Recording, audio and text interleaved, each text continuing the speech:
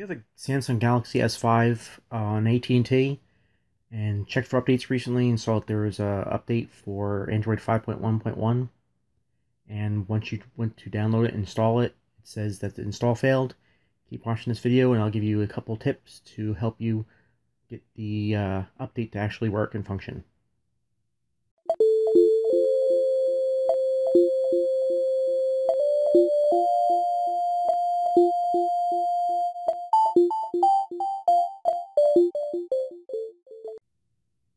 Alright, so if you've gone in and tried one or more times to check for updates and found out that you had the update available for 5.1.1 and went through the whole download process, which takes a little bit of time, and you go to install it and it reboots to the phone and then says gets to 0% and says failed.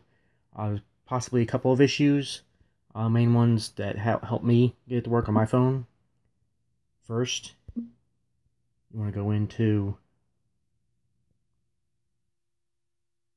your storage, go to where it says cache data, where it says clear cache data, say OK, and that'll free up quite a bit of space on my phone. It is close to 4 gigabytes, uh, but you want to make sure that you have enough space available, which probably you want at least 2 gigs down here where it says available space. And once that's done, you also want to go into, and if you have a, um, a launcher other than TouchWiz, I'm going to go in and disable that. So you come down to Default Applications. Tap on that, go to the launcher, home here, and choose TouchWiz Home. And then basically back out. And then you want to go and attempt to install the update again.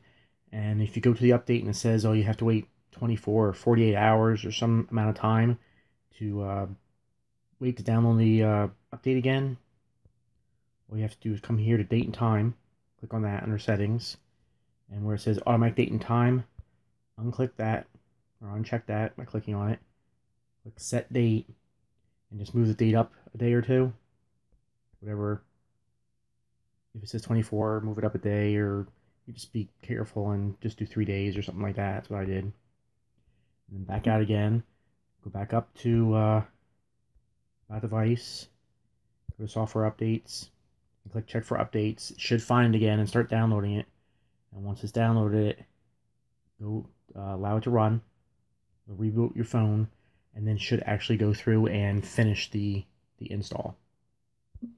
And then your phone should be up to date, just like mine is here, with Android version 5.1.1. So, hopefully you found this video useful, and uh, thank you for watching. If you'd like to see more Windows 8, Android, or beginners videos, click on one of these video clips, and also consider subscribing to my channel. Thank you.